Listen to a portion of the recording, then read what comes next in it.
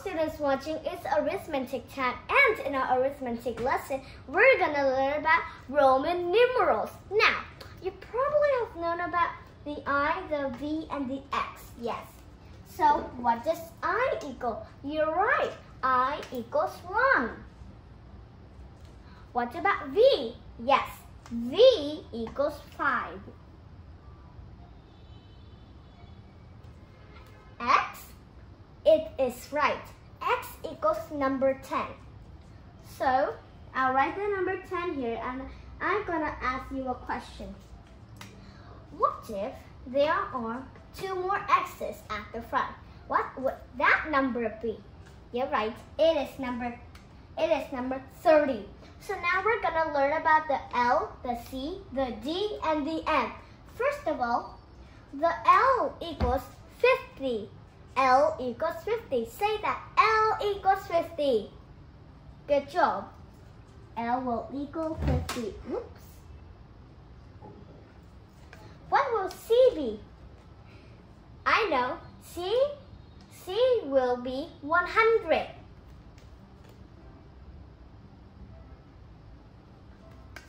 D equals C plus 100 plus 3 more, no, plus 4 more equals 500. So D would be equal 500.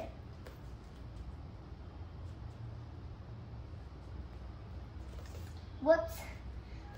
Uh, let me write it again. It is too big.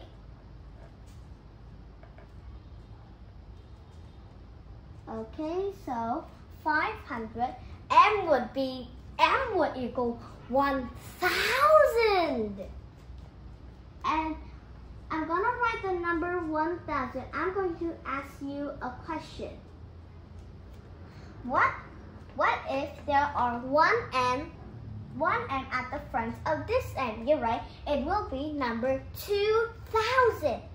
So, now let's have, let's take up a notch and we're going to look at some Roman numerals. What would this number be? Look, look. Yes, it will be 100. Say C equals 100. What would this number be? Yeah, C, C equals 200. What about C, C, C? What would that be? Yes, C, C, C equals 300. What about CD? CD equals 400. CD equals 400. D would be 500. D, B, D equals 500. Good. What about DC? It will be 600. DCC. DCC would be 700.